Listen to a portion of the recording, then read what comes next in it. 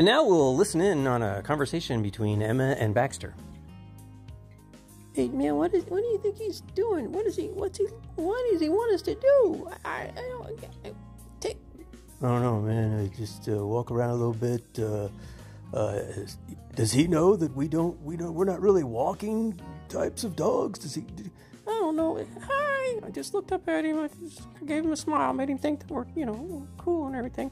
Yeah. Okay. Okay. Uh, look, uh, around a little bit. Uh, let's sniff over here and uh, maybe find a squirrel or something. I'm not gonna chase it, but uh, Is he still there?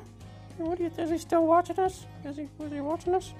yeah, he's you know just keep your head down, kid. Just uh, you know what? Pretend like we're uh, we're we're onto something. We're we're looking for. Something. you know what? Yeah. Hey, please subscribe to the Dog Guy Darin channel. Thank you.